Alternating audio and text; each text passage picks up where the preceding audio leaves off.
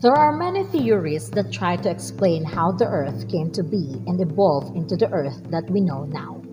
If we believe these theories and compare the structure of the Earth before and now, we may be surprised at the major changes that the Earth has undergone. This lesson will explain the forces that have changed and are continuing to change the Earth.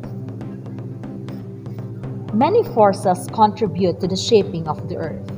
Some come from deep within the earth, while others affect mostly the surface of the earth.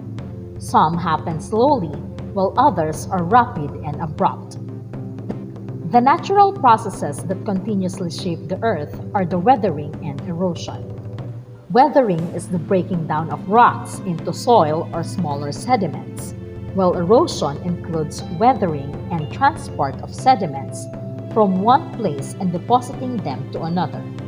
There are several factors that cause weathering and erosion. The first one is water. Raindrops can fall at speed of about 22 miles an hour.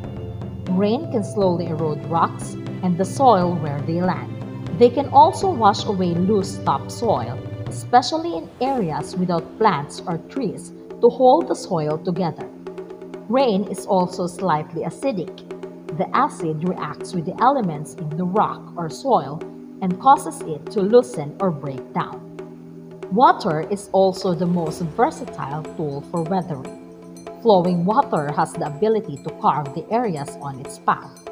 It can slowly break down the rocks beside and beneath them and wash them to lower areas. They can wear away rocks to form valleys and canyons.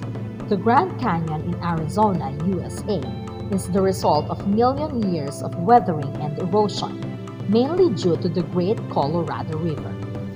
Tidal waves are strong forces that can scrape the surfaces of the land they hit. They crash into the surfaces and may cause loosening and breaking down of rocks. Then they carry loose sediments away and deposit them elsewhere.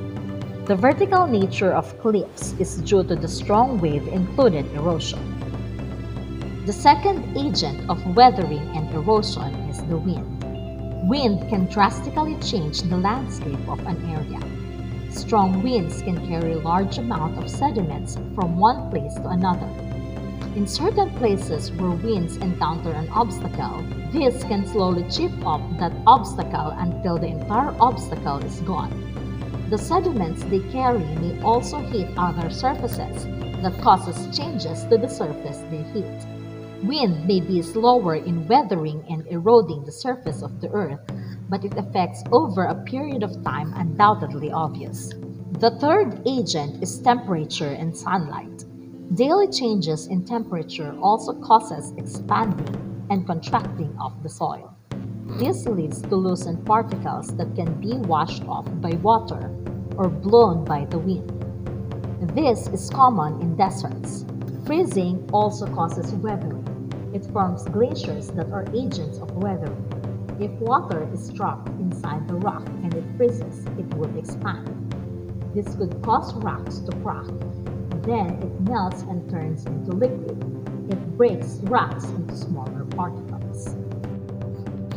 In the next part of this lesson, we will be discussing the natural disasters that shape the Earth.